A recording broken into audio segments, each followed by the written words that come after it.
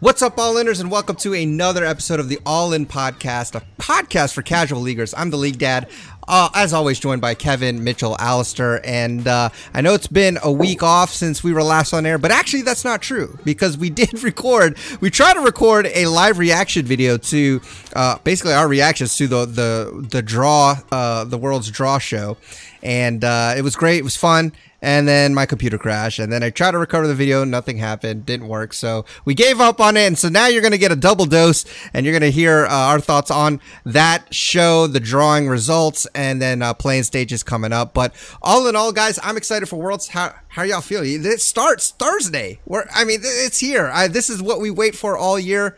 Uh, as a fan i'm super excited. What do you how you guys feeling right now I'm pretty stoked. I'm excited. I mean, it is play-ins, so I think most people are actually just waiting for the group stage, which is like the main event. But play-ins is still gonna be hype, especially if we get an upset. Um, like one of Mad Lions and Team Liquid is playing a best of five to get into groups. So yeah. that's what I'm looking forward to. Heck yeah, man. I mean, play-ins, I'm still excited. What about you guys, Kevin, Alistair? Go for it. So I'm just looking forward to international play in general. Like I want to see what the new meta is. I want to see what we're gonna start playing. I want to see some cool strats.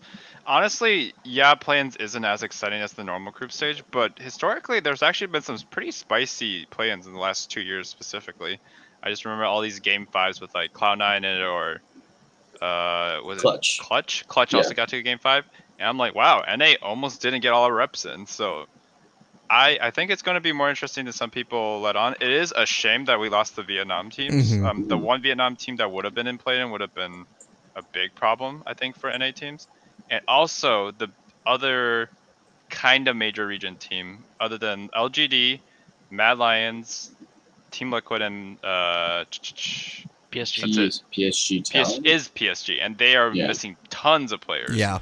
So like that could be a bone a boon to them. Like Supermassive did well when they had LSPL players sub in, but like honestly, it's going to be a real toss up because Group B just has one first seed team and then like half of PSG Talon showing up. Mm, yeah, that's true. Alistair, you looking forward to the play-ins or you you waiting for groups?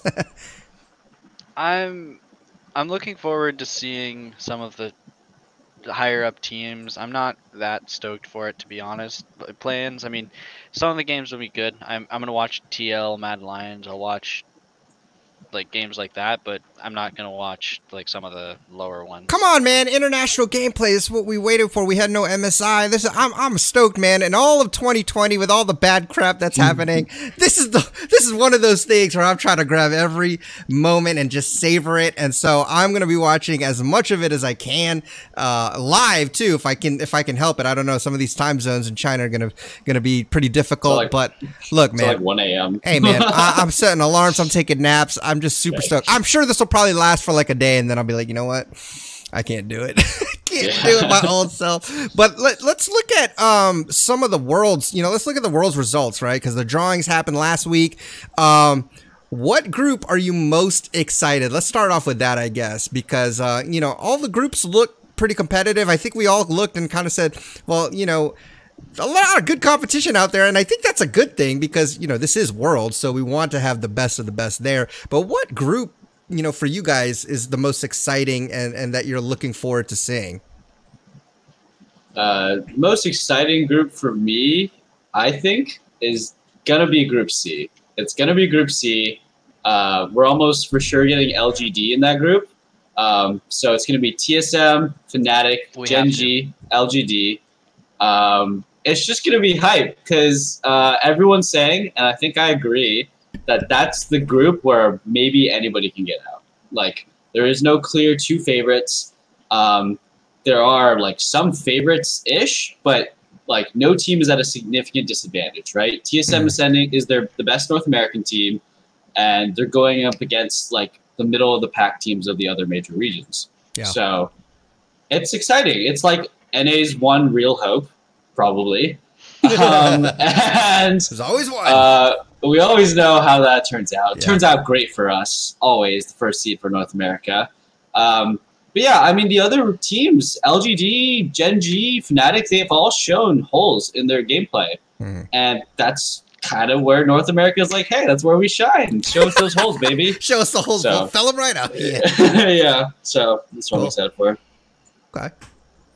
Yeah, it's got to be Group C. I mean, agreed. Uh, I will add on that the really cool part about Group C that I don't believe is a dynamic in any of the other groups is that there is a major region team from every region there. Uh, let me think. Group, Am I group D, if Mad Lions goes through, will be the if same. Mad Lions goes through, Yeah. right? So uh, fair enough. Then the Group C and D, but Group C will have seeds two, two, one, and four. So EU, Korea, NA, and China. And like Mhm. Honestly, like I don't know, LGD might not make it out. no, Uh, it's this is one, probably- two, three, four. Because Gen G is third seed. Gen G's third seed. Yeah, DRX is second Yeah. seed. They got in through Gauntlet. Ah, right, Gen G and the Gauntlet. Yeah. It was just an inevitability.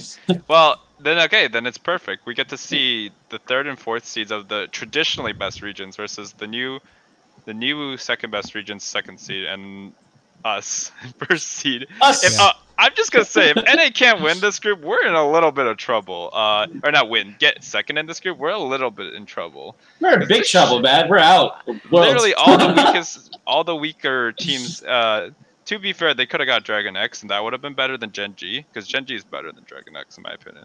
Um, but besides that, like this is this is the best group TSM could have gotten. It's fourth seed China, so that therefore they could get second or even first if everything goes shit. Um, and also NA's, I will say, we're gonna get into this later, but also TSM's players have been looking mighty good in solo queue. Oh yeah. Oh yeah. We'll talk about Oh, that. yeah. Definitely, uh, lots of exciting stuff to see on the super server. Alistair, do you agree with these two? Uh, are you are you pretty much excited to see Group C as well, or do you have a another group that you're looking forward to? I'm honestly I'm looking forward to all of them for the most part. I mean, I think Group C is definitely the most interesting. Um, I think I, I I'm curious to see how Brox and Impact do because they if they do better, we could see some upsets. Honestly, I think Hmm. I, I think I mean, they got to get through play-ins first, over- but yeah, but I mean, assuming Brox and Impact show up, we're assuming they make it out of play-ins, and if they get to Group A, I, I think there's a possibility of an upset. okay. I, li- I like it. I'm, hey, I'm hoping for that.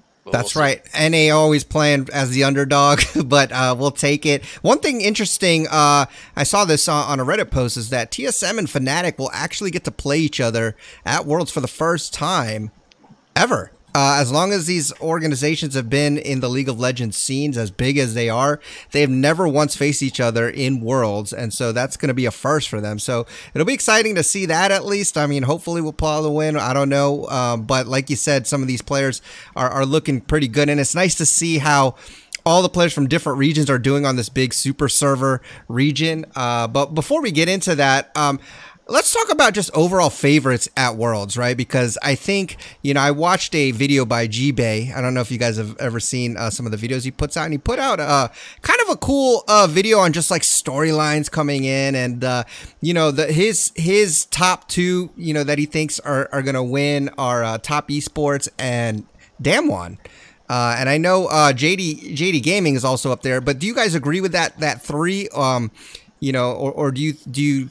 I mean, who's your favorite? Who do you think is is gonna win this thing? If you just had to be a betting man, statistically, and what you've seen this year, uh, who who is the winner here in Worlds? Let's just start from the very top, at the very end.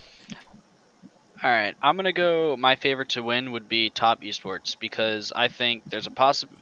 Realistically, I think the two best te- three best teams are Damwon and JD. Uh, JDG, and Top Esports, and I think Top Esports is probably. I can guarantee you the Top Esports, al- well, almost guarantee the Top Esports gets first in their group, and then JDG and Damwon would be one Hmm. of them does. Yeah. I think finals is going to be JDG and top, but I think LPL rematch. Okay. yeah, Hey, probably those are some sick it'll be another it'll be another Yeah. five game series. That's um. But th- That's th- those cool. would definitely be the three. Hmm. Yeah. What are you thinking, Kevin? I'm thinking. So what what scares me the most is this sounds exactly like 2015, where it was EDG, LGD, and SKT, I believe, coming in, and they were the top three, right? They were like, oh yeah, these guys are the best teams, and like there's no even competition for fourth. Um, I'm thinking that yeah. First of all, get it out of the way. Top esports is gonna win. Uh, Okay. they they're either gonna win or they they're the favorites, right? They're just insane. They have world's winners on their team, which is something that previous like favorites teams from China never had. Um, so that's a huge deal. And then the second component to it is I actually think that G2 may be better than Damwon in a head-to-head matchup. wow. If I saw them face each other in the quarterfinals, I would favor G2. Just historically, G2 hasn't had an issue with them with Um, Korean teams. Yeah, with Korean teams in general, but uh I think they've literally faced each other yeah, they literally faced each other. But that was Damwon Gaming's first year at Worlds. They're very different. they had a different bot lane too. And that True. was their They, they had a different battle. Like, Nuclear was worse than Nuclear BeryL was worse than Ghost and whoever their support is now. Okay, So yeah, I mean, That's- that's a little my point is like I think G2 could could probably get it closer to that third place position in my mind. And I don't know if that's JDG's third place or uh, Damwon's third place, but I think G2 is still extremely good. That that experience and this roster being together for two years now, Yeah. i- is a big deal. Yeah, I I think. call them close fourth. Yeah, I mean, I think the group B with just having Damwon and JD in the same group that should make for some interesting matches. Maybe give us a little bit of a preview uh, of what what to expect. I mean, having those two powerhouse teams uh, in the same group is going to make for some exciting action. I feel sorry for Rogue and whoever the, the to be the to be determined team is going to be because they got some tough competition. But um, Yeah. what- I mean, I wouldn't underestimate Rogue. They're Okay. a team that I know is excels with preparation, and their players have been popping off in the Chinese super server. So I wouldn't count them out yet. I mean, Europe has been a region where if you underestimate them, they do surprise. Like Splice, true. thought we thought they were going to get destroyed, but they look competitive against both SKT and FBX. So, um, my favorite, um, I actually so it is BeryL on this Damwon Gaming support. So it's just Ghost that switched out. Okay. Um, my favorite is, I mean, I could say Top Esports. It's literally everybody's favorite, right? so I'm to personally go with Damwon Gaming. I actually think that they could win the whole thing. I do think stylistically they could have trouble with G2, but against every other team, I mean, I think Showmaker and Canyon are potentially the best jungle mid duo in the whole world right now. I mean, Karsa and Knight are really insane, right? But I don't know. I'm gonna go with it. I uh, don't feel like going top esports. Everybody's saying it. I love Hmm. Karsa to death, but I'm feeling I'm feeling Canyon Showmaker. okay. I mean, that's fair enough. I mean, let, I, let me put it this way. Yep. I, I was just gonna say I think a lot of it's very determined on who goes where after group stage.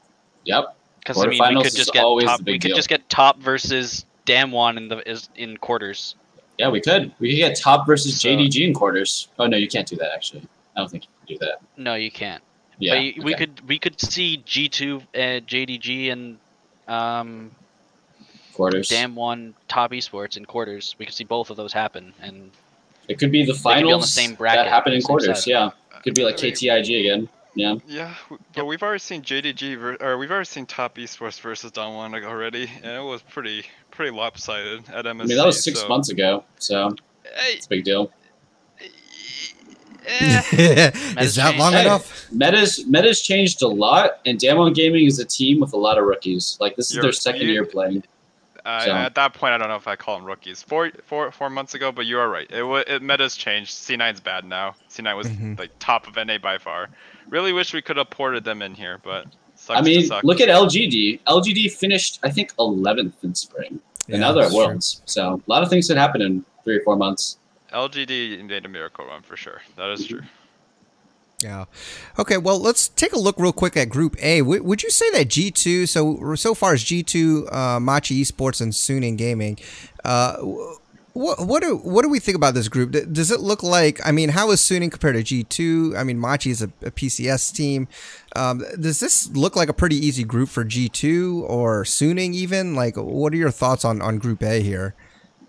Uh, I think it is an easy group when it comes to getting out of groups. Yeah, I think G2 and Suning are highly favored. When it comes to getting first, though, which is a big deal when you're looking at winning the tournament, Mhm. very contested. I think when I go on social media and I hear other personalities talk about Suning, they're very underestimated, and I'm super Wow. surprised how underestimated they are. I think Suning is really, really good. Um, SOFM, their jungler, insane. I think if he had a better team, people might be saying he's the best jungler in the world. Wow. Um, yeah, he really is. Because like he plays carry champions and he builds tank on them, and it's just like he has such an unorthodox, weird playstyle. He builds Knight's Vow on Lee Sin and stuff, and it's like it's so weird, and it makes it work. And he has like the craziest mechanics. Um, I think, yeah, I think if like Yankos is maybe not really as meta right now. He's playing a lot of you know Sett jungle, Shen jungle. He's not exactly playing the Graves and the Nidalee. Like that's a big deal for SOFM. So getting first is going to be difficult for G2. If you remember last year, actually, G2 looked like they should they would have been first. They destroyed Griffin in their first game, and then Yankos got completely exposed in their second game, going like one and eight on Qiyana. So Yeah. G2 I mean, is yeah. not- Side note, I mean, SOFM also, I believe, I could be wrong, but I think he's the only Vietnam like player represented. You know, so representing, he's got a whole country on his back. Uh, So Yep. that is kind of a nice little side uh, storyline there uh, going on. Uh, did you guys have any thoughts, Kevin Alistair, on Group A? Uh, you know, wh- who do you think comes out on top here as first place? I think Suning. Just for the reason Mitchell said, it's not Yanko's meta. Not Yanko's meta. Jungle diff. Well, it's jungle meta. Everything's jungle, and if Yeah. it's not your jungler's meta, I think you're going to be in trouble. Yeah, but there is also you know caps. That's Mid true. diff. That's true. True. I mean, Caps Angel- is better than An- Angel. Angel, yeah, he's he's definitely not up there in the top mid laners, even though he's on the top three team. So True. Okay. I'd say, I mean, Suning 3 0 LGD, 3 1 IG, and like SOFM is the reason why Chinese junglers play the way they do. Mm. Like before him, it was like Clearlove style, where it's like safe counter jungling or counter ganking meteor style. Now it's just like balls to walls, the Ning, the Yeah. MLXGs, like all those players. Like SOFM is the reason why they play like that, and he's better Levi. Like if you saw Levi at Worlds before beating EU teams, like now it's better Levi, the guy who actually got recruited first to China, played Mhm. on their server this whole time, and he's finally on a decent team. It's not the best team in the in the country, but it's a good team. I think Suning's got G2's number. Um, Yankos is going to probably be in trouble against SOFM. Uh, the only re- the way that they would win is they take a best one with Caps just like hyper carrying on a Yeah. I don't know like a LeBlanc or something because Akali got her knees taken again. Yeah, that's true. Okay, well, here's one more question. I guess uh, as we're still here, kind of overviewing the the groups, uh, the group stage. Who who would you think if you had to pick a dark horse to kind of surprise us all? Like, who do you think that could be? Like, you know, we mentioned our tops. You know, these are the the ones who everybody's got their eyes on because they've you know shown themselves to be good. You know, we mentioned top esports, Damwon, JDG. Uh, but is there a team that you see that like, man, people are sleeping on them? Uh, you know, maybe it's Suning. I don't know. I mean, they are from China though. I mean, they're pretty good. Is there a team? Is there a team though that you see uh, in groups or maybe even in play-ins uh, if you want to go that far, uh, uh, you know, deep, but anywhere on the in this world's roster is there a team that you're that you think people are sleeping on? Spyquest. FlyQuest. Group D. So the reason why they're sleeping on it is because this is probably NA's second best or best chance to get out of groups. Um, Wow. Mad Lions are literally all rookies. They're not. True. They like fell off toward the end. So like they're kind of like, they're kind of like the team that got in without beating a good team is what the Rogue Twitter say, and that's true. Like they got into Worlds because they did really well during the regular season. Gotcha. Um, top esports is going to get first, Sure. but DRX is looking like Garbo. Uh, it comparatively to what a Korean team in your mind looks like, this team has got like depth slumping. Pyosik and Doran are their top jungle. Like, I'm sorry, Mm. Santorin and um, it's true. what's his name? S- Solo was it? Solo. Yeah, Solo. Are, I think I think they're significantly better than Doran and Pyosik. Like That Doran is has got- surprising. Dude. I, I I watch L, I That's a watch. LCK too, and I'm just like I at least Santorin is better than Pyosik on a g- on a Pyosik's on a good day is better, but like Pyosik's good days are like one out of five. Uh, and like I think that there's a very good chance the FlyQuest just upsets DRX at least in one game. I like and then it. they all they have to do is beat Mad Lions both times, which I think is possible. Um, I think that I mean we we're forgetting FlyQuest should be like basically the first seed, and in, in any other year they could be the first seed coming in. Hmm. Yeah. They they took TSM to game five. They didn't Sure. play well, but they did take TSM to game five. So like to us, it's kind of like the JDG of our region. We're not a good region, but we do have two almost first seeds coming in, and I go. do think that because DRX is garbage, in my mind, and uh, Mad Lions is unproven, I'm willing to say that they will be the black sheep Good point. going in. Let's go. Hey man, I Black like it. I, I, I like kind of snickered I mean- at first, but I, I can see it. I mean, I agree with Mitchell, but I mean, at the same time, I'll, I'll say this because of what you said. I mean, Liquid, if they get Group A, I think they could. I can. Yeah. No, liquid. I think there's possibilities. Cause I, I, I mean, I think. It, I mean, it's very dependent on Brox and Impact playing better than they have been recently. But Jensen usually does well at Worlds. As much as I don't, I, I don't like saying, "Oh, X player shows up for this." I don't like saying that, but I mean, Jensen at Worlds tends to be pretty good.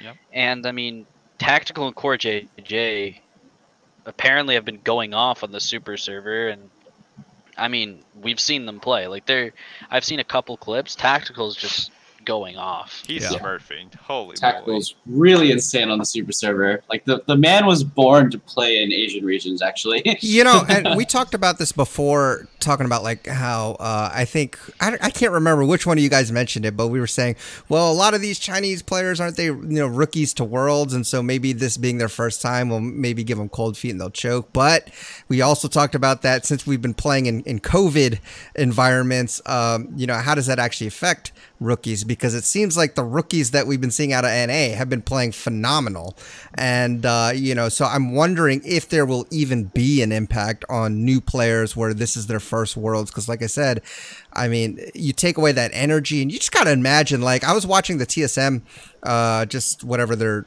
their documentary show is, and how they, Legends. yeah, legends where they they won it all, and like you know, you see the footage of them when they win, and they're like cheering and all this, but I'm like, man, that is just not hype though. Like you, like I'm hype on my end, right? But you, you compare that to the worlds before where they're in stadiums and there's like thousands of people there, and it's just super. Exactly. Well, worlds. You've been to worlds, No, no, not Worlds. I was but there yeah, for, you've been um, when they won exactly. the I'm talking about a world stage, like where I mean, you literally have like just the biggest venues, all filled with people from around the world. That's a whole different kind of pressure, and so I think rookies will perform well, uh, including ours. But I also think that maybe first time, I don't know, players from you know whatever region into Worlds would Shooting, be fine. Yeah. Yeah. they might be fine. Mad Lions.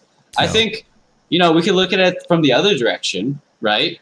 This was Doublelift's worst year inside quarantine. Mhm. Maybe some pro players that are used to existing in the like exciting atmosphere with the crowd that feed off the energy. Maybe they don't show up as much. Yeah. Um, Perkz, he gave an interview. I actually talked about this like many podcasts ago. Mhm. Uh, but Perkz gave an interview where he really felt like the, one of the reasons why G2 was struggling uh, in both splits, both in spring, they fell into the lower bracket, and in summer, and during the regular season for G2 during summer, they played pretty poorly, is that their players, they don't show up as much Yeah. if there isn't a big crowd.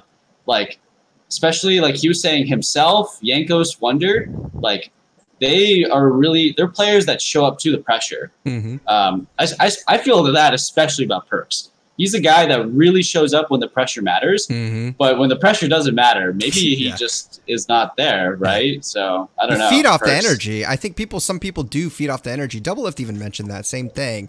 And if Yeah. you're used to, like, again, these are longtime pros who are used to that environment. Now all of a sudden you take that away and it's like playing at home again. Um, Yeah, you know, slightly different, but you, you know what I mean. It's got to take away some of that that edge, you know, where they're feeding off of that energy of the crowd and gets them hyped. So- So, yeah, yeah. I'll answer the previous question now. The uh, the dark horse for me, it's a hype one. It's Rogue.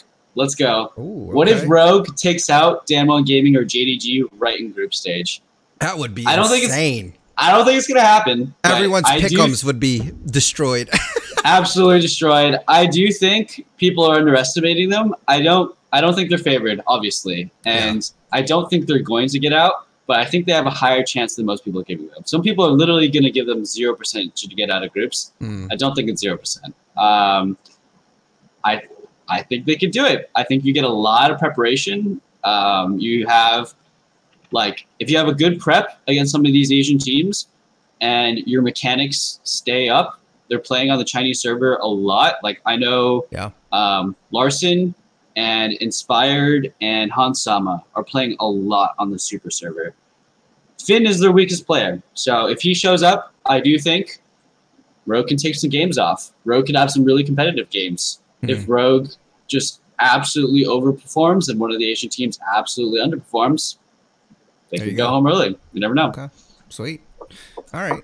Uh, anybody Who else got any dark horses? We talked about Rogue. We talked about FlyQuest. I think you make good arguments for any of those. Uh, is there any any other team you want to mention before we get into the play-in stage?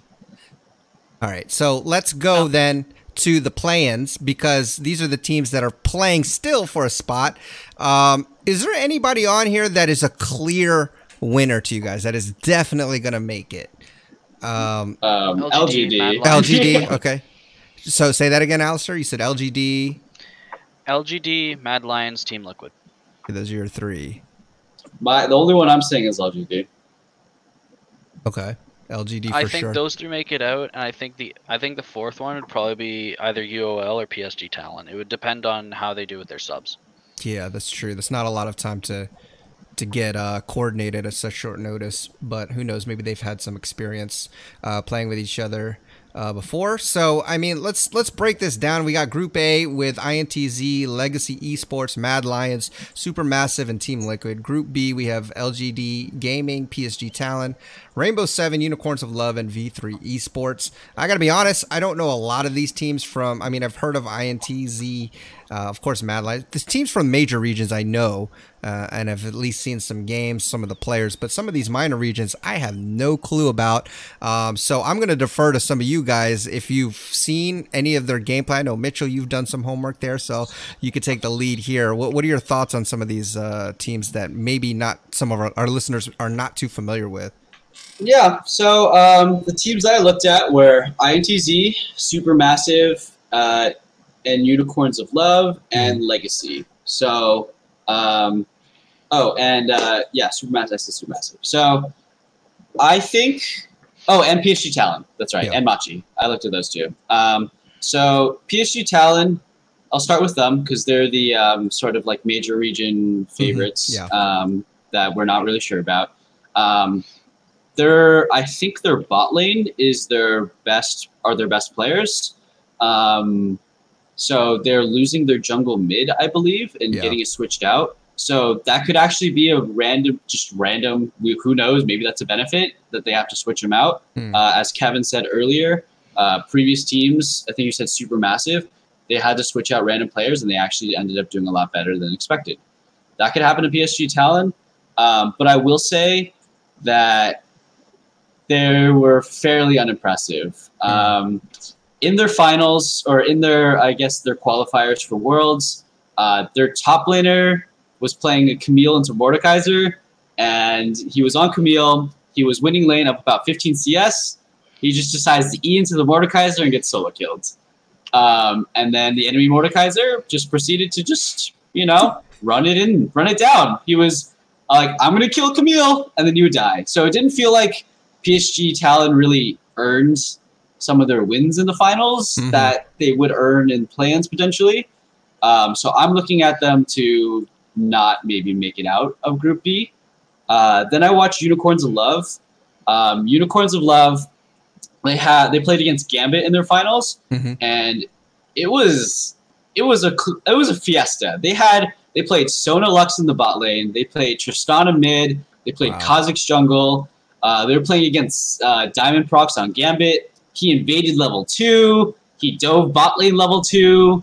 Um, like Gambit was up like 10, 11k. They had Mountain Soul, and Unicorn still low, still won Oh, with uh, with Sona Lux.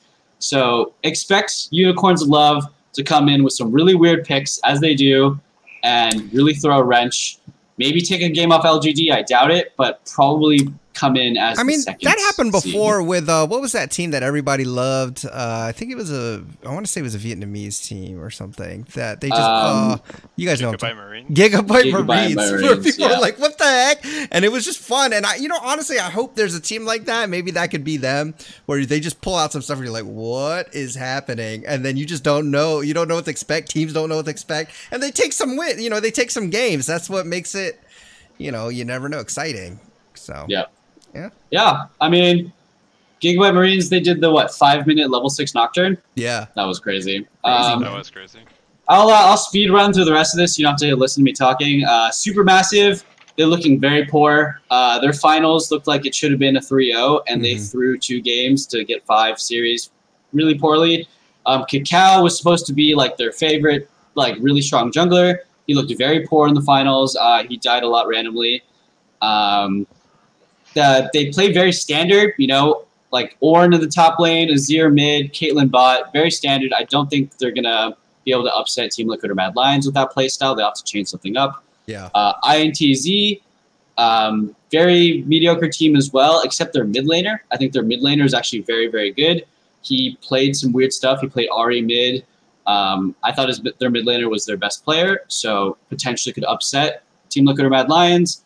Legacy Esports um, also plays very standard, very uh, normal. I didn't actually go through their games that much; just watched one game. Not nothing too Um, much too stand stand outish. No, nothing exciting. So I do think that it's going to be Team Liquid Mad Lions, but INTZ is definitely a team to watch out for. I think. Okay, so I mean, we we're picking teams here that are from the major regions. Obviously, is there any like because there's that's three spots. So we talked about uh, Team Liquid, LGD, and uh, Mad Lions. I think. I mean, that's on paper. That looks like the three that would come in. So uh, the fourth one, do you think another? You know, I mean, I know Unicorns of Love is the Russian uh, one now, but that is still they still kind of come from a, a major type region. I mean, what do you what are you guys thinking? Do you think any of the minor regions could could make a could slip in there on one of the one of the spots, the last spot? I mean, yeah, it, looking into it, uh, PSG Talon might not make it out. I think Unicorns of Love probably, or even V3 have a good chance because PSG Talon's replacement players yeah, are Uniboy and Kongyue. Both of those people were on Mad Team in 2018. Yeah. If anyone remembers the third seed Mad Team or second seed or whatever they were from Taiwan that year, they went zero and six in round uh, group stage round robin, and then Hmm. zero three in Rift Rivals. They looked okay actually as players, but they just that team could never win. And I don't see these guys who are being loaned out to a different team yeah, doing like yeah. any miracles, right? Because when when Supermassive got their loan, they got like Frozen and Crash or something like that, like a Korean mid laner and a Korean jungler who were like actually pretty good in LCK back in the day, Mhm. and they like popped off. Like they were probably at least like suitable side grades for the people who were originally on um, Supermassive. So I I just don't see PSG Talon recreating that same magic. That being with that in mind, I think UOL is probably favored then. They have the name whose name I cannot say. the, the pineapple guy, he's like Okay. the Ananasik or whatever his name Oh, is. Anonasik. Yeah, he's actually he's he's interesting. He's interesting. He kind of runs it, but he also pops off. yeah, he'll, he'll be interesting, and I don't think a team that's got a sub jungler is gonna do much against him. Um, uh, he could something run about it either way though. yeah, yeah, run either way. I think Unicorns of Love, their ADC gadget. Uh, he's been popping off in the Chinese Super Server. Uh, I've been seeing some of his clips. I've been seeing uh, him pop up in the streams. I think he's pretty. I think he's probably. I don't remember off the top of my head, but probably the highest ranking player on the Super Server from the wildcard region. So, Unicorns of Love, man, maybe gadget. It's is, isn't he the s- guy who played on Vega Squadron last year? He was the last year's representative Vega Carrot too. Oh, I don't know. Maybe. I believe so. I think they did pretty well. They were the ones who got to like game three or something at MSI. Yeah, they got to game five at MSI against Phong Vu Buffalo, the Oh, Vietnamese. Oh, that's right, Phong Vu yeah. Buffalo, the team that that, 2 0 G2. Yeah, that's yeah. funny. So th- th- that was that really spicy play-ins for MSI. Yeah. Okay. Oh, yeah. yeah. Yeah, That's so right. they they're this guy's good. He was on that that uh Vega Squadron team is basically this exact team. It is this exact same team. I just looked at the roster. They Oh, it's the changed it. exact same team. oh, Okay. okay. So if you can Unicorns will take just Buffalo to game five, that's that's pretty scary. and Phong Vu for- Buffalo can beat G2, the MSI champions. There Okay. go. I just say, hmm, G2 got lucky that Phong Vu didn't didn't make it out of uh, group stage. yeah, man, they would have taken the title. Oh man, Vietnam being here would have been so spicy. I know Yeah, it's I- unfortunate. It's really missed. Um, okay, well, one thing I want to talk about moving on is uh, the super server because uh, we talked about this a little bit beforehand. I've been I've been having a great time watching these players on the super server, and, so, and like it's funny how some of these people just I guess they're queuing up as solo queue, but then they'll end up like like four TSM members on one team with like Doinby on the other team. And I saw a game where Doinby was Akali and uh, Bjergsen was on uh, Zilean, and he was already like they were typing, and it was just they had a tra- like they had translated on the video, and it was just really cool to see these pros come up against each other and from different regions. Um, overall, I'm loving that they're spamming, you know, because this is again they need to get kind of accustomed to playing some of these players that they're going to face, and the style in China, you know, uh, having to get acclimated. Uh, give me some highlights, thoughts on what you've seen so far in the super server. Uh, some of the players that you've seen, who's looking good, who you know, who would you like to see more of, who's not looking so good, that sort of thing. Uh, and I'll let you kind of open it up from there. So, Um, well, I'll start. I think um, one of the players that you know from North America we can talk about is Tactical and CoreJJ in the bot lane. Yeah. They are, um, I think they're ch- they're both challenger. They're of the highest rank in North America, um, and you know we have a lot of we had a, lot of hopes. Like CoreJJ won MVP, Tactical won Rookie of the Split. They looked like the best players in Team Liquid in their five game series against Hmm. Black West and TSM. So, yeah, they're popping off in the Chinese super server. Um, tactical, I mean, he had one of he he just did it again. He had another one v nine uh, to play Hmm. in the uh, in one of those clips. yeah, Um, so yeah, looking looking at those guys. yeah, that's really interesting. You, you guys see anything, Kevin, Alistair? Uh, have you seen any of the games I from the super server? much. You haven't seen much by you, Kevin. I've been watching a lot of highlights of just Bjergsen and Doinby in the same matches over and I over, know. and uh, Bjerg is looking on point. Like I, him competing Yeah. against Doinby, I just watched Doinby's POV. He's like, dang, this guy's actually legit. On, Yeah. on Zileans. pretty much what he's saying, Mm-hmm. and uh, it's really fun. I I'm glad to see TSM is showing up. So I actually played in China before. I've hit plat one, I think, on the first server, not the super server. Ionia one before they had the super server. That server is crazy. That server is like they're they're like mid plats are probably our mid diamonds. It's like the equivalent because they just have so many people playing and competing with each other. Um, so the fact that our players are actually able to hold up there is actually Yeah, a good sign good of things sign. to come. Uh, you also mentioned Mitchell. You mentioned Rogue was doing well there Mhm. which is extremely surprising to me. I honestly, I think Finn is going to get absolutely blasted by Nuguri and Zoom, and I think Zoom is probably one of the best top laners here, if not the best at Worlds right now. So uh, I'm worried for Rogue, but if they could do well in the solo queue, like at the very least, even if it doesn't translate one to one, because you know there's a lot of one tricks there, they're going to Mhm. pick up a lot of good practice that they'll Yeah. need. I'm I- surprised that they didn't yeah. play in Korea. Usually, don't they always play on the Korean server, even if it was in China? So I'm curious why they all chose the super server this time. Um, so only um, the Korea, a lot of the Korean players are playing in Korea, but I think every Western player has to play in the Chinese super server because they that's just how it, yeah. how it went down. Oh, it's like it's like a requirement. I I mean, I mean, they, were we're not, they don't have they don't have a Korean ID, so Yeah. oh right, I forgot Korea is making you have to be very official. Yeah. yeah.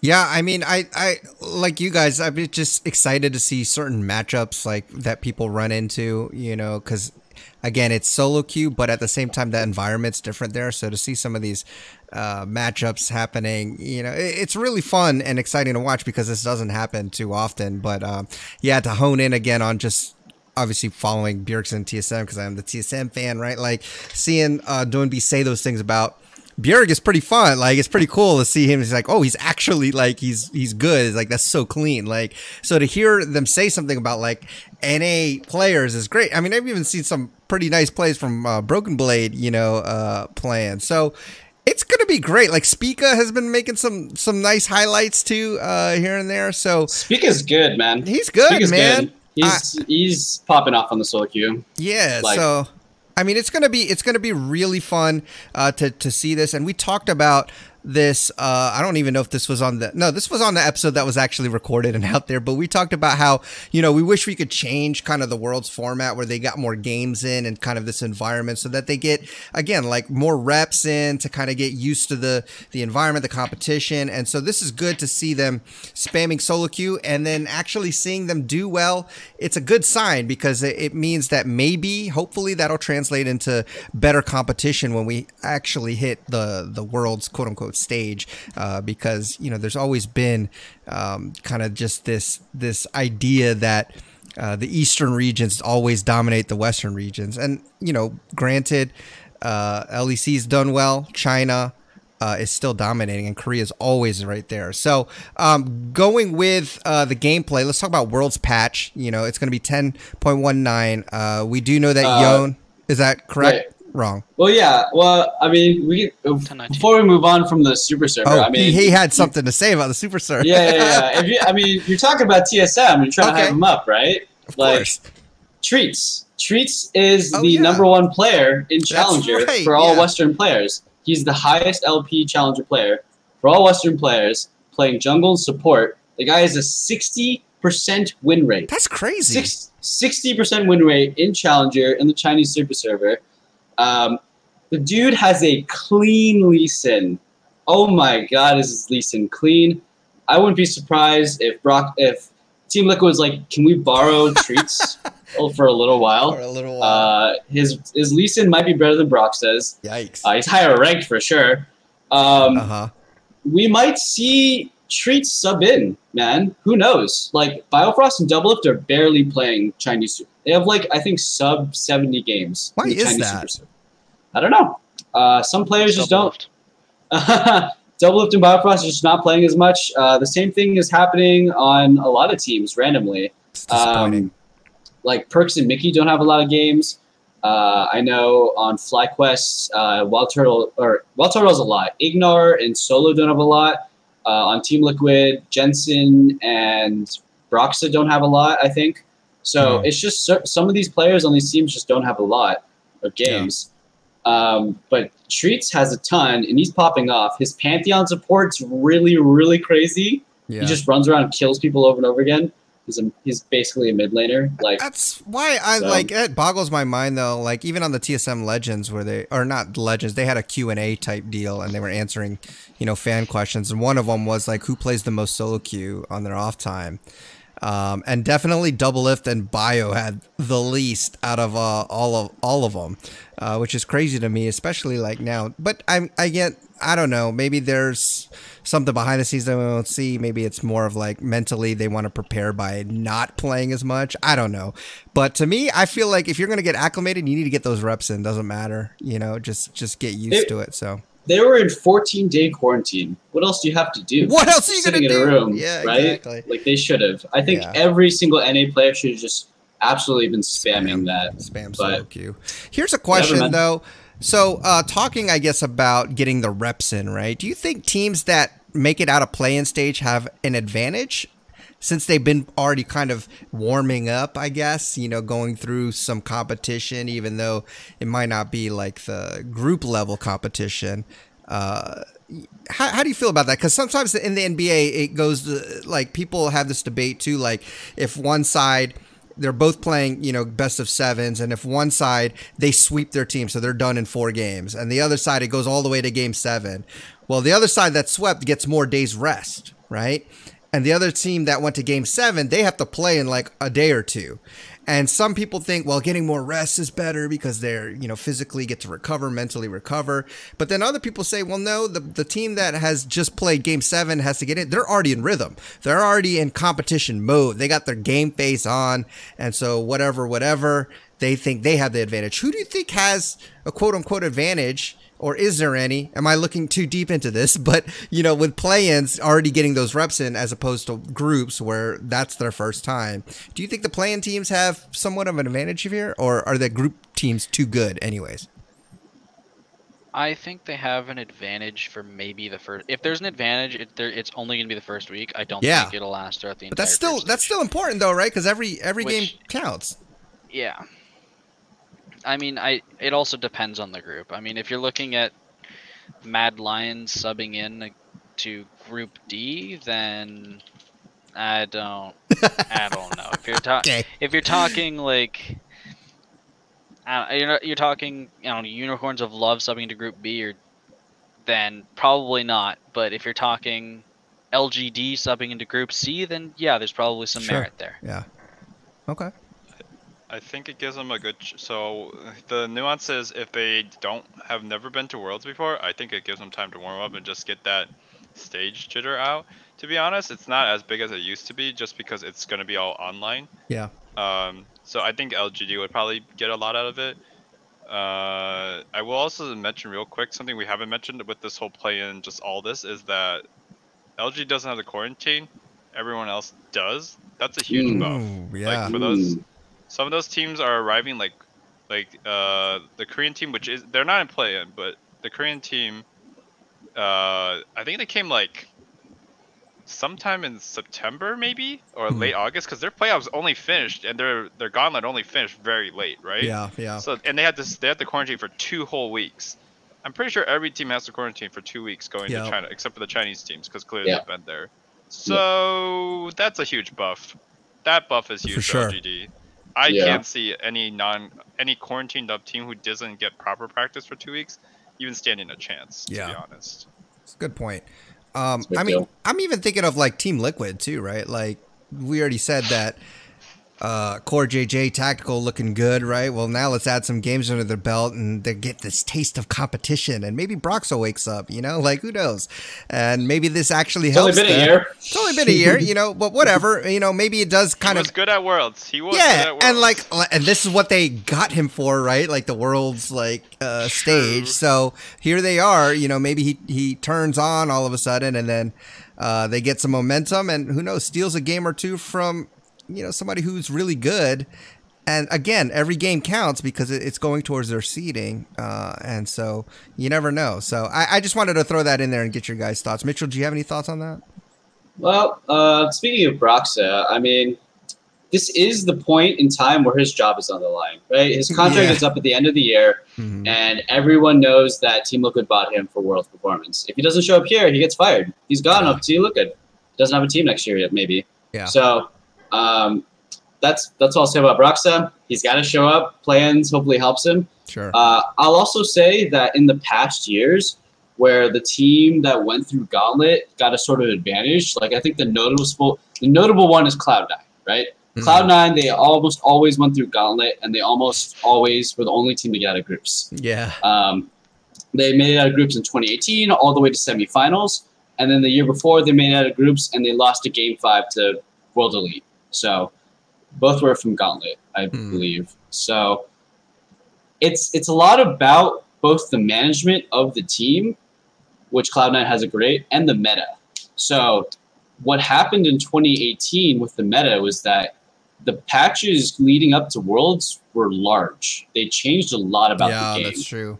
So the fact that they were able to figure out the meta during play-ins, and then Gen G and RNG, and like they were kind of asleep with the meta, that was like the big deal. The Worlds patch this year is not that big, so Mhm. I don't think the play-ins gives as much of an advantage. In fact, it might give a disadvantage where if the play-in teams figure out the meta for you, then you can sit on the sidelines watching in group stage and figure out your counters and what's better yeah. you you know what Team Liquid or Mad Lions or LGD plays in play-ins. They're experimenting, they're figuring out the meta, and then you can sit back and be like, okay, we'll try that in solo queue, we'll try that in scrims, and we'll come up with the counter. Yeah. So- Well, interesting that you mentioned the patch because what a segue. Talking about the world's patch coming in, uh, you know, and we'll, we'll let's discuss this because again, it's fun to maybe think about some metas, you know, that are going to develop here. Um, but we do know that Yone is disabled, correct? Uh, Yes. So Yone, Yone won't be uh, playable during Worlds, uh, which is, I think that's okay for me because you know, I, Actually, no. I wish they kind of had it. You know, it'd be nice to see I some wish of they the. had it. yeah, it's like I'm thinking. Actually, you know what? It'd be nice to see some of these. Uh, Another Yasuo like yeah, these- yeah, exactly. Oh, uh, what am I saying? That would have just been awesome. But okay, so let's talk about Worlds Patch. You know, what are you guys thinking for for meta here? What do you think we're going to see a lot of? Um, give me your thoughts on, on the patch. I mean, what bot laners are we seeing? Are we still seeing Senna, or is she gone, or are we seeing Ashe still, We're- or you know? Go ahead, Alistair. I know Okay, you want to well, talk. I, I, I- mentioned ADCs. Okay, I can tell you we're still going to see Senna. The Senna nerfs are more of a solo queue nerf rather than Okay. an AD Oh. I know they're solo queue nerfs. I've Uh, been for paired up with some competitive. Sennas, and it's not looking good. Just kidding. But I, I can tell you most of the souls you get, um, at least early game, well, pretty much all game, most of them are from actually hitting champions, Hmm. um, not from the wave, and especially because uh, since Senna's usually the one last hitting them, she's gonna Yeah. get more. She gets like you get more souls if you don't uh, hit them. So if you, or at least there's a higher chance, I'm pretty sure, unless they removed that. But I I don't think the Senna changes are going to be that big a deal uh, for pro play. I think we're still going to see Ashe just because Hawkshot is super good Yeah, in this sure. meta. Just like always know where the jungler is, and Mhm. like it's jungle meta, so that's a huge deal. Um, Caitlyn, I think we're still going to see Caitlyn. I mean, these were pretty heavy nerfs, but we're still going to see her. I think just because it, it's kind of a good meta for her. Probably some Um, Jhin. You think Jhin will show show up? Yeah, we'll see Jhin. We'll see that. We'll see the four champions we've already been seeing, Mm-hmm. and And we better see Jinx. Jinx. I'm You were gonna, gonna I'm gonna keep saying Okay, it. All right. I'm gonna He's calling it now. You Jinx know what? is coming up. here, I've I've got this for you. In Okay. on the uh, team I'm playing with, in all of our scrims, we've I have played six games of Jinx, and I have not lost a single one. All right. You heard it here first, y'all. Against Ashe, against Caitlyn, against Senna, I've beat them. all Call every time. him Prophet Alistair. I, I wouldn't be surprised. I mean, y- dude, it sounds like you know what you're talking about. I, Nah, I it's, it's I've not been the calling pick. It's just a. Alistair. It's just He's just too good. He's good. is coming No, to tr- Worlds, no. Jinx is good in this meta, but people Okay. don't want to play it. And I think I, I think we might see I think the Vayne buffs are going under the radar. I think they're Okay. pretty solid. I hope we see that. And I think if we see Vayne, we may see Twitch. Maybe. All right. That's the question. It's a pretty good, pretty good in-depth ADC breakdown. I like it. Uh, what o- what other things you guys think we'll see? Maybe in the jungle, we're just gonna see Hecarim some more. I mean, yeah, obviously we're Yeah. obviously. okay. Um, I think I I think going back to Twitch, uh, all the scrims that have been leaked. We did talk about the scrim leaks, by the way, which is could Oh, be yeah. interesting. True. But almost all of them have a Twitch popping off in them. Uh, a lot of them had Twitch Yeah, you're right. in the scrims. I So yeah, I think we are seeing Twitch. I don't think it's a maybe. I think we're just going to see Twitch. Um, it's we're gonna see. I mean, we're gonna see at least one, guys. So Mhm. um, yeah, we're gonna see some Twitch. okay. Um, yeah, so I'll just say that. What about the ju- the jungle side there, Kevin? You gonna we gonna see some some more of your girl Eve, or uh, Oh, Uh, there's there we will see some Eve bans. I don't think that Eve is the pick that will be used that often because the teams that can play it, it's ban worth, and the teams that can't play will never play it.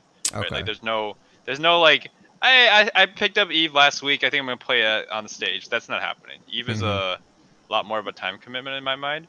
I will say I think Rek'Sai might get disabled. Uh, there's a bug with Rek'Sai right now Oh, where wow. she Yeah. It got patched. It it got, got patched, fixed. but is that going to be live on 1019 in Yeah. World server? That's what I'm wondering. I'm pretty sure. Yeah, yeah. That's what Okay. they said. on I, I, I just wasn't sure if they have like a state a s- static state yeah. patch or nothing. Right. Um, otherwise, then there's no reason Rek'Sai should be replayed. Okay. Um, I I personally have a huge bias against Rek'Sai, so I don't think he's going to be played. Uh, we'll still yeah. see a lot of Graves. She man, junglers. she. Oh, sorry, she. uh, yeah, I don't play Rek'Sai. Yeah, I don't bad. know. I didn't Uh, know either. It took me a while. A lot of Graves junglers, as always, um, Uh-huh. will show up. And besides that, you'll see some interestingly aggressive tank play from some of the LPL junglers, is what I know. I don't know too much about Canyon's picks, to be Okay. honest. I hope we see some high level Nidalee play. Like I want to Uh, see Oh, world. yeah. We're gonna too. Yes. Oh yeah. We're gonna see a lot of high level It's, Nidalee. I, I, it's just gonna be nice because uh, honestly, it's been such a good pick in other regions, and like NA until playoffs was unable to do it. Like Mhm. Spica played some really good games. Spica. Santorin played like a decent. Speak is the only game, Nidalee player, so Pretty much. So like, but against other Nidalee players, I I just think it's gonna be pretty crazy. Yeah. Okay. So yep, that's that's my rundown. I mean, it's it's pretty. It's not that different. The jungle didn't really get touched. You think we'll see Sett much. Sett in the jungle? yes. You think so? yeah, I'm not a big fan, but I think his stats just lend it to be so good for diving and ganking Yeah. and all that. Okay. Well, I mean, no, no was so- junglers really got touched in this patch.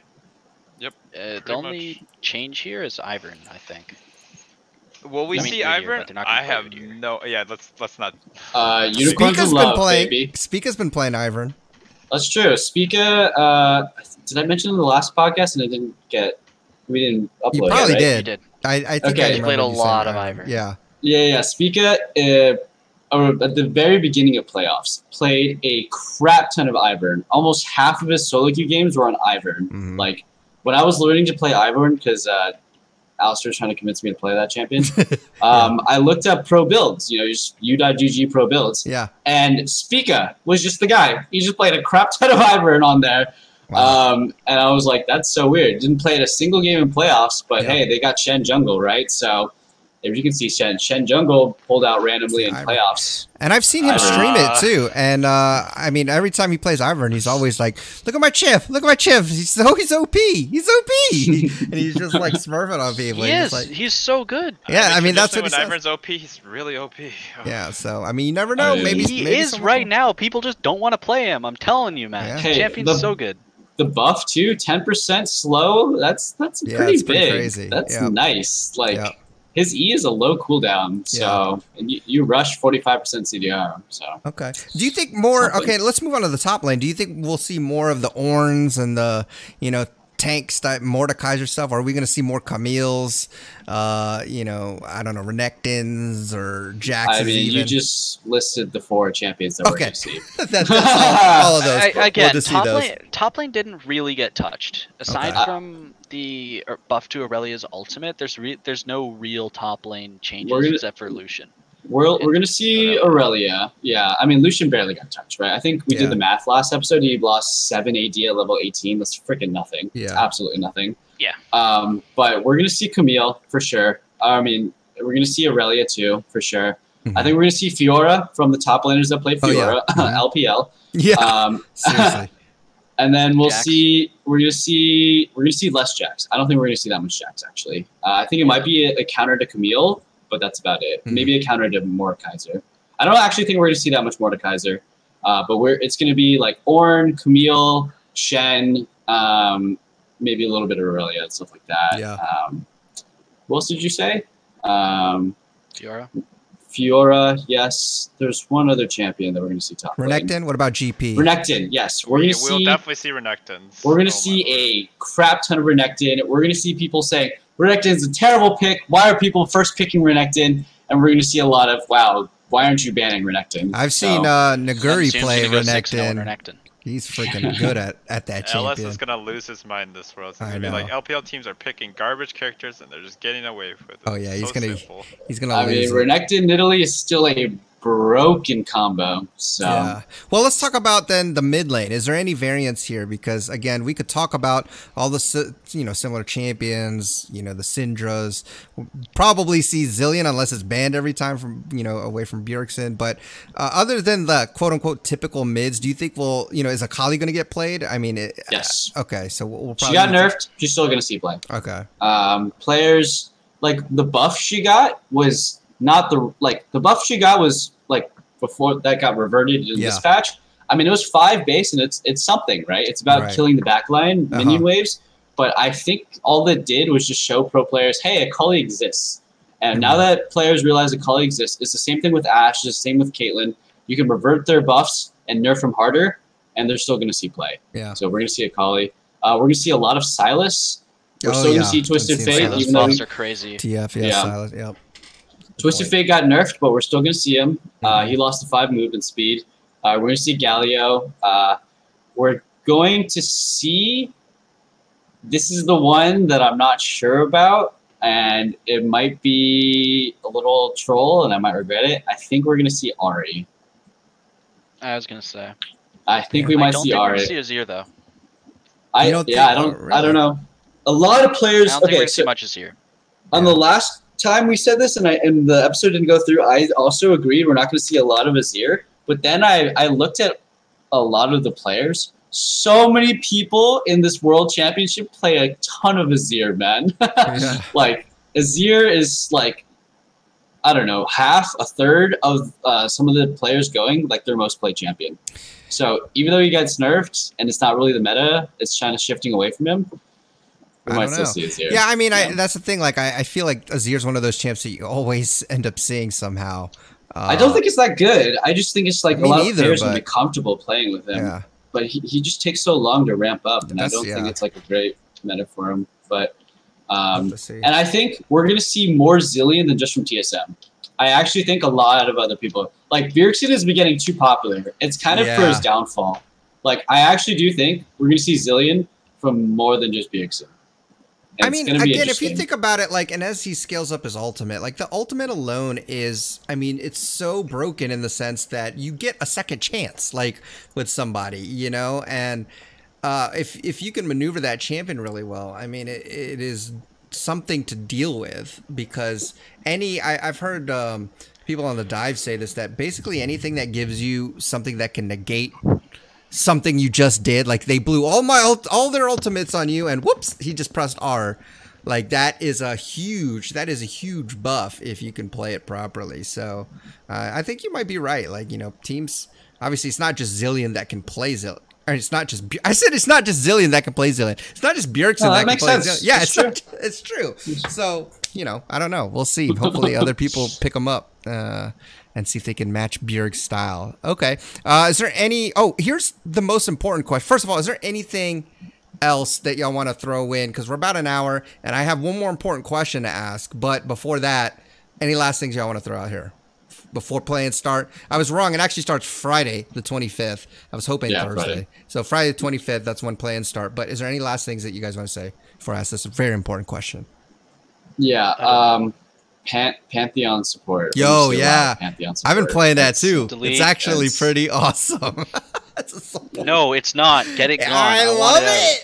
Oh No. man. It's- No, I don't. No, I want it out, please. It's so literally a great. mid laner. Yeah. You can just Tell one shot who, who made I what role love in this it. call just by the reaction. I know. Yeah. Yeah. Obviously, I've been playing a lot of support, and I love uh, Pantheon support, man. It's so stupid. You're just It a mid laner. You just one shot people as a support. That's not balanced. like I don't get why that's allowed. the, the funny thing is, I've never played. I have never played reworked Pantheon until like a few weeks ago, and I'm like, you know what? He, he- you know, he's been getting. He's like pretty high on Oh the the God. tier list for support. So let me play him. Oh my gosh, what have I been missing out on? Okay, also, so- um, also, I don't know if we're gonna see this. I think we might. Maokai support has a 53% win rate. So with a five percent pick no, rate, I don't like, think we will. I mean, It's Maokai is Maokai, right? If you have the right comp for it, true. I think we could see it. It's always a If treat. Alright, Samira he- was here's out the right now, lane. you would see it. Yeah. Just Oh, Here, here's a bot lane I'm gonna call. I'm, I'm gonna say we're gonna see Swain Pantheon. Oh, Ooh, Swain, yes, yeah. yes. No, actually, Swain, yes. Swain is Swain see it, I Pantheon's don't insane. doubt it. Oh. Yeah. Swain is freaking stupid, man. Swain I is played not. against it. Okay, well, I couldn't play the game. Since It you was- mentioned Swain, terrible. do you think we'll see any other mage bots like Syndra? Galio. Or, or- Yes. okay. Galio. I think Galio bot lane is insane. Like, actually, if you look at EU Masters and if you look at a lot of solo queue, Uh-huh. there's a bunch of random kill lanes with Galio. Galio Pantheon, Galio Swain, Galio Zilean, Galio Vel'Koz, Galio Syndra. There's a bunch of weird ones with Galio because I guess he can just murder people in the bot lane. I don't, I Yeah, don't know. he does. No, he- he Yeah. we should It's we should not fun. try some of these out. What's up? Who's down? Okay, let's Yeah. try some of these out. You That guys, you guys can do it, and I'll camp you guys. Yeah, that I'll sounds- just come bot lane. that sounds very fun. Okay, Galio's not fun to play against. Galio's so not fair. That Oh champion does too much damage. Yeah. um, all right. Is there any other things that you guys have? You guys good? You guys ready? You ready for this plans? I'm ready. Alright, tell me- Alistair's waiting for questions. groups, but Here's the most important question that I've been wanting to ask this entire time. Is Doublelift making it out of groups this year? There it is. Come Oh on, let's go. Doublelift, first time out of groups. I mean, he's got a chance, right? Yeah, where's the coin? Hold up. All right, let, okay. Let's just revert to the coin. What's the Uh, coin it's going to say? Are you really flipping it? Flip the What is- coin. Oh, wait, what is he? Lord. Is he heads or tails? Oh yeah. All right. what, what do you guys want? He's heads. he's heads. yes, Double tails, lift no? is heads. Yeah, yeah, yeah. Heads, Double with yes. his head. Double with his heads. Mhm. Oh. All right. Coin says no. Oh, God. Oh, I'm going with the coin. Sorry. I'm going you with know, the coin. I ha- I don't want to, but he doesn't have a good track record. I'm rooting for him because, like I said, man, I don't know how many more years Doublelift has, man. That's just my. Doublelift and Biofrost are the worst bot lane in the group. Ugh, I hate to admit it. Yes. Keely, you're, yeah. you're right. Yes. LGD's got. Okay. That sucks. Okay, well, L- LGD They might has. be the worst bot lane that NA has at Worlds. Actually, I think they are. Yeah, I mean, yeah, Wild Turtle know if they're Ignar. better than Turtle Ignar. Yeah, I mean, it. I don't know either. I don't know. I do think Yeah. Ignar is better than Bio, but I don't know about Wild Turtle. I mean, it's just but Doublelift should be better than Wild Turtle. It's just his form is maybe not. You know. well, you said he yeah. figured Well, he Wild play Turtle out, so yeah, Yeah, I mean, But yeah, but he's not playing against Turtle.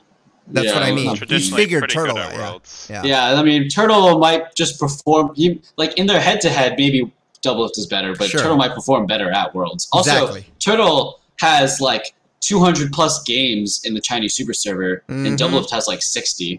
So Doublelift slacking, man. I told you.